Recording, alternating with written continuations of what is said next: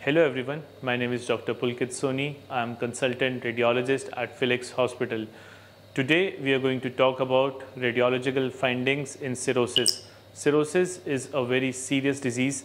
Cirrhosis is basically late stage of scarring of liver which is caused by many forms of liver diseases and conditions such as hepatitis and chronic alcoholism. आज technology इतनी बढ़ गई है कि ultrasound CT scan और MRI के माध्यम से हम काफ़ी ईजिली पता लगा सकते हैं लिवर और शरीर के अन्य भाग में आने वाली कॉम्प्लिकेशंस के बारे में। सबसे पहले हम बात करेंगे अल्ट्रासोनोग्राफी के बारे में। सिरोसिस के जो चेंजेस होते हैं, सबसे पहले हमें लिवर में देखे जाते हैं। आप लोगों को पता ही होगा there are various stages of fatty liver बहुत बार नॉर्मल अल्ट्रासाउंड कराते हुए भी फैटी लिवर लोगों का आता है, जिसको लोग नज़रअंदाज कर देते हैं। But we must know that there are three grades of fatty liver and anything above grade 2 and grade 3 can have serious implications.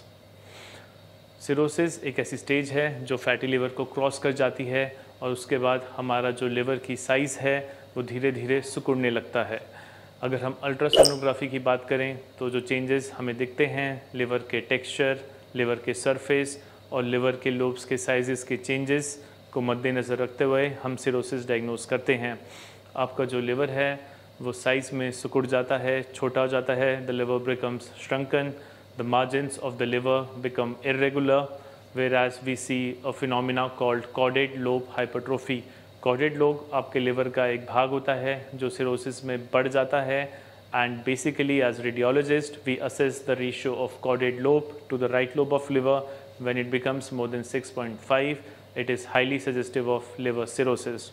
Dreadful complication is development of hepatocellular carcinoma G. Hepatocellular carcinoma एक किस्म का liver cancer है जो cirrhosis के patient में पाया जाता है अल्ट्रासाउंड के माध्यम से हम इसको ईज़िली डिटेक्ट कर सकते हैं आपके लिवर में एक नोड्यूल दिखेगा जो बहुत ज़्यादा वैस्कुलर होगा बहुत ज़्यादा उसके अंदर वैस्कुलरिटी होगी यही चीज़ को कंफर्म करने के लिए हम एक ट्रिपल फेस सीटी अपडोमन और एमआरआई कॉन्ट्रास्ट अपडोमन भी करवा सकते हैं, जो एससीसी को बहुत ही अर्ली स्टेज में पकड़ लेता है और इसके फैलने से पहले ही क्लिनिशियंस को पता लग जाता है कि यहाँ पे एससीसी है, जिसको अच्छी तरीके से ट्रीट किया जा सकता है।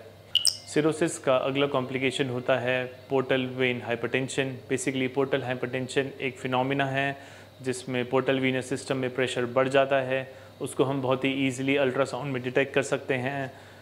ना what are the changes that we see in portal hypertension on sonography we see that the diameter of portal vein increases we also see that the velocity in the portal vein becomes less it becomes less than twelve centimetre per second we also see a lot of collaterals developing in various areas such as para oesophageal peri splenic peri portal collaterals और ये भी एक ऐसी चीज़ है जो आगे जाके काफ़ी कॉम्प्लिकेशंस और पैदा कर सकती है, जो पोर्टल वीनस कोलेट्रल्स बनते हैं, उनमें ब्लीडिंग हो सकती है, उसकी वजह से आगे जाके पेशेंट की डेथ भी हो सकती है। अगर अल्ट्रासाउंड और सीटी स्कैन के माध्यम से हम उसको जल्दी से डिटेक्ट कर लें तो आगे जाके हम उसका जल्दी से ट्रीटमेंट करवा सकते हैं। स्क्रीन की साइज़ होती है, वो सोनोग्राफी में 12 सेंटीमीटर हम एवरेज कट ऑफ़ लेते हैं, वो 12 सेंटीमीटर के ऊपर चला जाता है। और पेट में सिरोसिस में पानी भी जमने लगता है।